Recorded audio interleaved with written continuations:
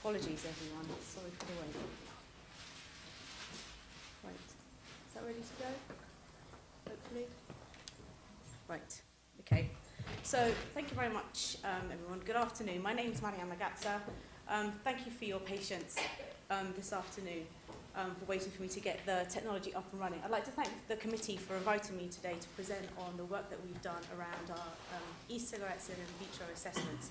Before I start, I need to be this conflict of interest statement declaring that the work that was funded by British American Tobacco Investments Limited and that myself and my co-workers are full-time employees at British American Tobacco uh, for the duration of this research and for what I'm presenting. So, at British American Tobacco and our R&D um, laboratories in Southampton in the UK, we have been developing in vitro models of a number of different disease pathways, predominantly focused on lung disease, so we're looking at chronic obstructive pulmonary disease, looking at lung cancer, and also cardiovascular disease models. We traditionally use uh, the 2D systems and also some of the 3D systems that Dr. Holger Bursing presented uh, just before me. Um, and we also look at using a number of assays that already have regulatory compliance and are validated um, across regulatory communities, but also some of these model systems that are fit for purpose. Today, um, what I'm going to show you is some of the challenges and um, difficulties around generating appropriate aerosols for, um, for generating um, these matrices, but also look at some of these in vitro responses, in particular comparing cigarette versus e-cigarettes um, across a number of different platforms and different endpoints. We're really trying to harness the capabilities and the concepts around tox testing in the 21st century that we heard presented earlier on today by really focusing on using human tissues and using cells from um, human um, sources. So generating the test article, what does this look like with respects to ENDS testing? So the first and the most easiest way to do testing in vitro is to look at the e-liquid matrix itself. So this can be easily poured onto an, um, a number of different um, in vitro systems, and this has been reported very um, heavily in the literature of late. But however, this really doesn't give you a physiological outcome, particularly not using these in vitro systems, but also using the liquid. So the way to do this is to generate appropriate aerosols for these different types of products. Traditionally, particulate matter has been generated by the industry to look at the particulate um, components of uh, tobacco products, and this could be easily and has been applied to ENDS products as well. And this allows um, the aerosols of the vapor to be passed and captured onto Cambridge filter pads. These filter pads then can be, um, have the particulate matter eluted off using a number of different solvents. In our case, we use dimethyl sulfoxide, DMSO. This allows us to produce a solution that can be easily added onto these in vitro cultures. Aqueous extracts can also be generated um, using um, these ENDS models to develop another type of aerosol. This actually allows us to capture some of the water-soluble vapor um, constituents found in the extracts. Again, this media is um, generated by passing aerosols through biological materials such as cell biologi biological um, medias and buffers such as PBS. You can use numbers of different impingers attached to various different smoke machines to generate this solution.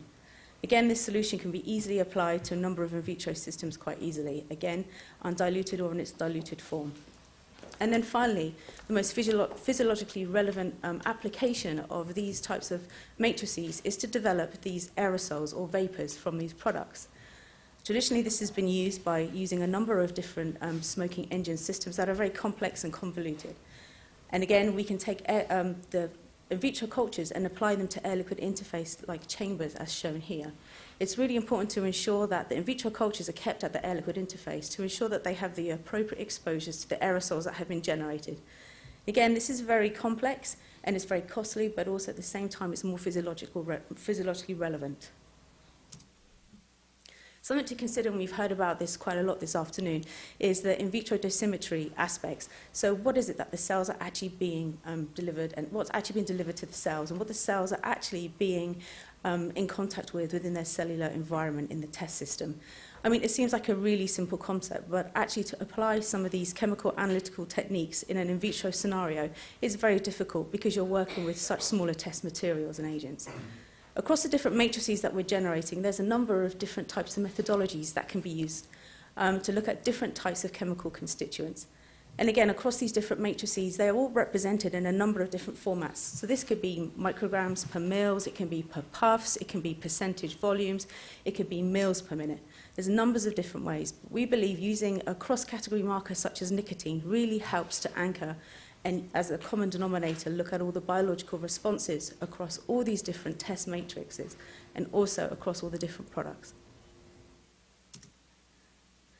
So I'm going to give you a few examples now of some of the endpoints and some of the test systems that we're using in the laboratory.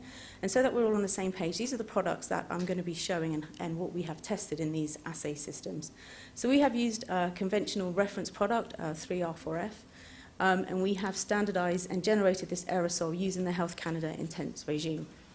We've also compared this with our Vipe ePen um, e-cigarette product, and again, as we heard um, earlier on this afternoon, used a specific aerosol generation regime to ensure that we have standardization across the delivery. So this table nicely outlines various different endpoints that I'm going to present to you today across the 2D and 3D systems that we work with in-house and also across the different matrices that we generate within the laboratory. And it spans some of these up-and-coming novel, uh, highly innovative um, um, in vitro test systems such as high content screening, but it also looks at some of the classical and really targeted endpoints around in vitro disease um, um, understanding and mechanistic pathways. And we also touch on some of the systems biology processes that we're working with in, within the laboratory to start having a global and a more holistic overview of some of the biological responses. So we believe that high content screening has a real place for screening um, e-liquids so that we know there's over you know, eight plus thousands of different types of e-liquids that are currently being sold and manufactured and available for use by consumers. High content screening offers the ability to really turn around quite rapidly uh, a very high level screen to look at these different types of systems. It's been used predominantly within the pharmaceutical industry for early drug discovery, but also within the chemical industry to look at toxicities of thousands of different chemicals as part of the EPA's ToxCast program. It's a roboticized high content screening approach using multi-well well, um, dishes. We can look at a number of different endpoints, so it's highly parametric. At the moment, um, the maximum number of endpoints you can look at simultaneously is about 14. And this uses a lot of uh, fluorescent um, dyes to look at specific targeted endpoints. So again, for us, this is a, an, an early journey for us to truly, really try and understand the dynamic range of this platform and whether we can use it across a number of different e-liquid formulations. And again, to really try to understand the key markers that we need to be assessing using these types of platforms.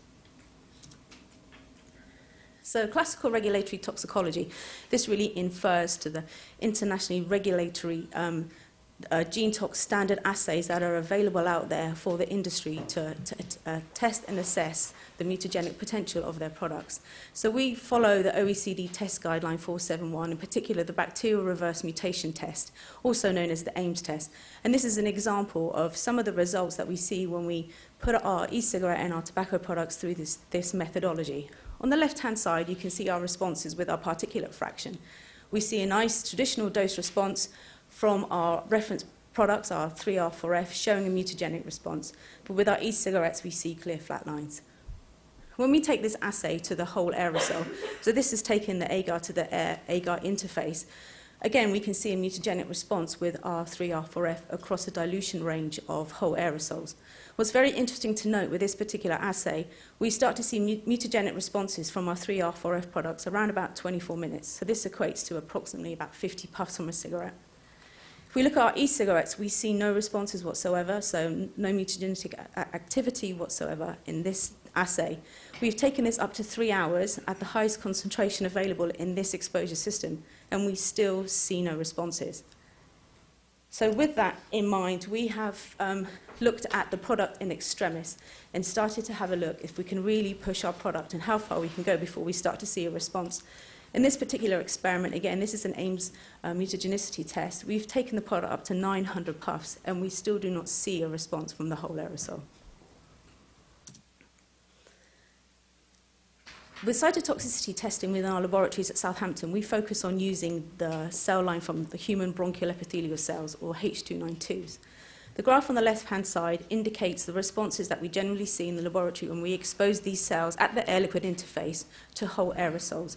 And we tend to follow the NutriRed uptake cytotoxicity um, assay, which has been set, set out by ICVAM. What we can see from this particular study is that the cytotoxic shift in response to e-cigarette is very, very different to that of our 3R4F product. So it suggests that there's significantly less cytotoxicity being elicited by our, our e-pen or our e-cigarette. On the right-hand side, this is um, a, a commercially available 96-well plate format cytotox assay looking at the caspase enzymes 3 and 6 to give us an indication of apoptosis. And in this experiment, we have tested our aqueous extracts and again, we can see a clear cytotoxic dose response with our 3R4F compared to our e-cigarettes.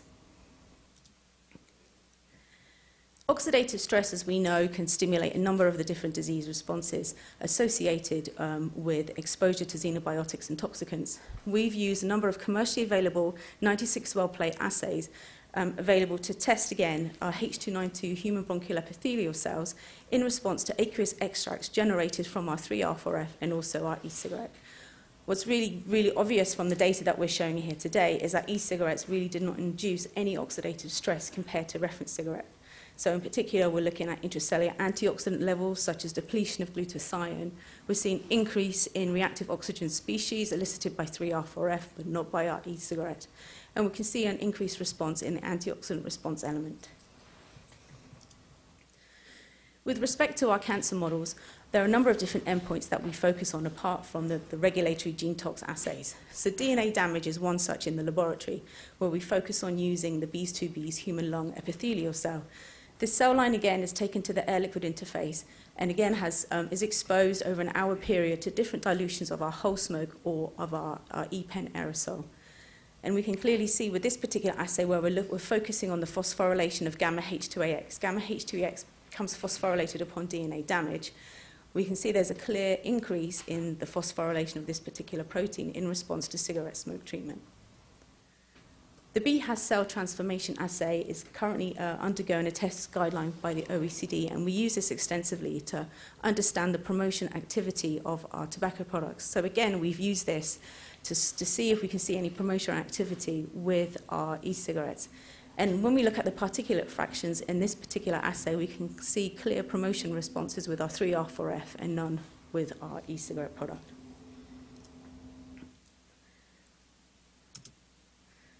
So then we move on to our cardiovascular disease models. In particular, we're focusing on atherosclerosis and looking at um, the damage of endothelial cells. In this particular cell system, we are looking at human umb umbilical vein endothelial cells and their ability to migrate into an area of injury.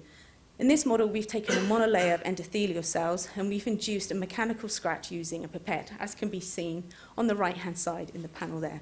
So where the clear space is, this is where the, the scratch has been induced or the area of injury.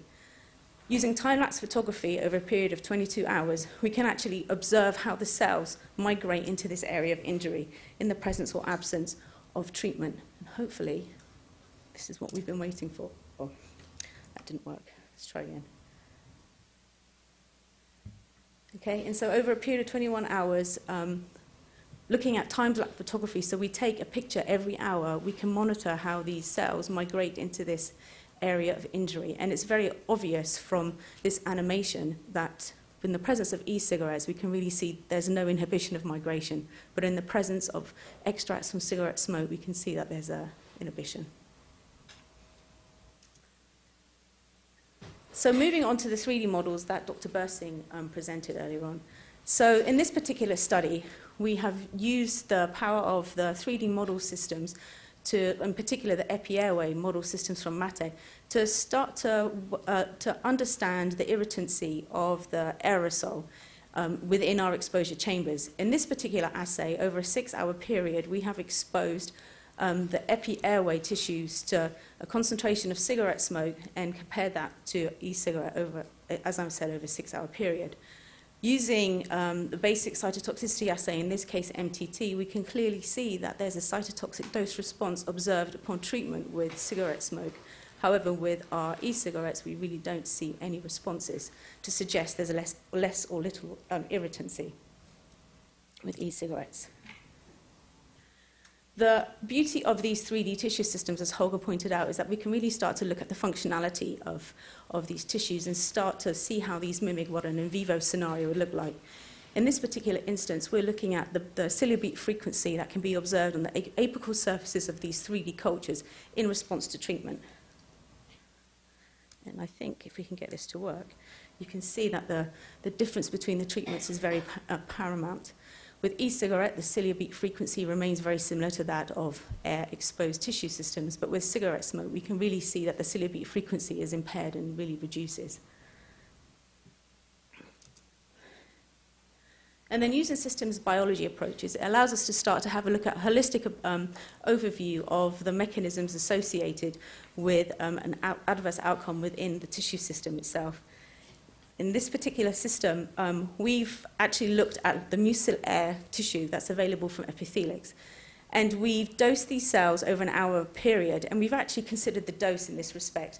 So with 3R4F, we've ensured that our e-cigarette is matched for nicotine. And we've also done a second experiment where we've double dosed with um, e-cigarettes, so we've doubled the dose of nicotine. Again, harnessing the power of omics, we've looked at tra the transcriptomic or the RNA expression using RNA sequencing.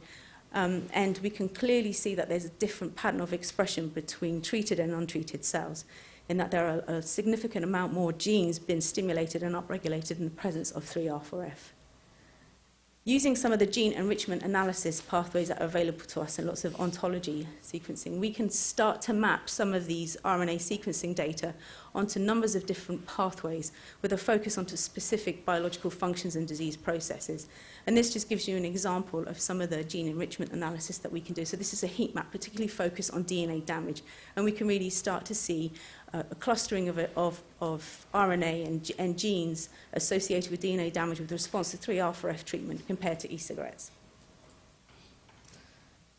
And then I'd really like to draw the attention of the panel to adverse outcome pathways. So this is um, a framework that's been used by numbers of different scientists to start to, to hang their data um, around a series of causal events that linked, really and anchored from exposure to a particular toxicant and looking at a, um, a molecular initiating event such as DNA damage, for example, or protein oxidation.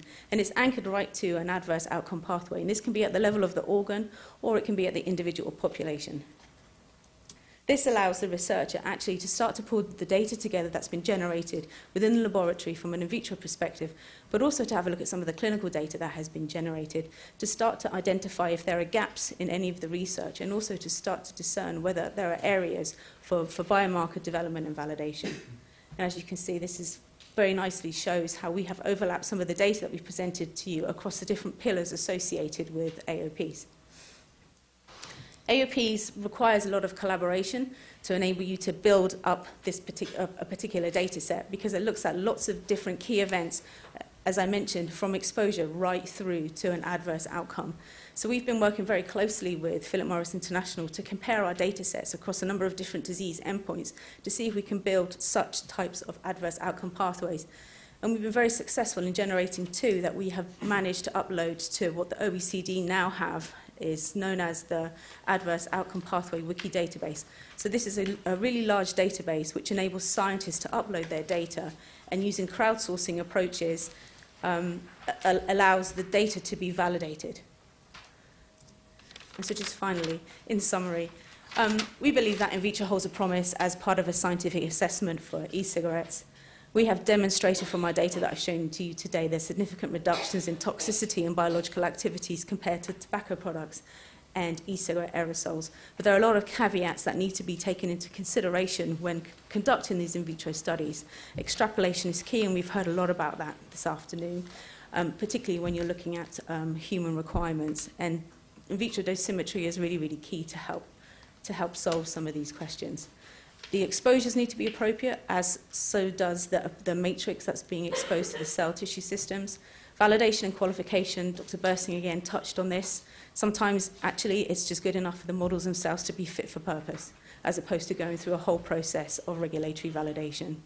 There are a lot of new tools that are available now for the researcher to start to support screening of these products into the future, but also systems biology allows for these global assessments of of biological outcomes and not just looking at specific targeted analysis. So this really supports biomarker discovery in the vitro and in vitro and also in the clinic. And again, AOPs are just really key to enable us to start to organize our data in a, in a risk assessment manner. So just thank you to the team back in Southampton and thank you for listening Patience. patients.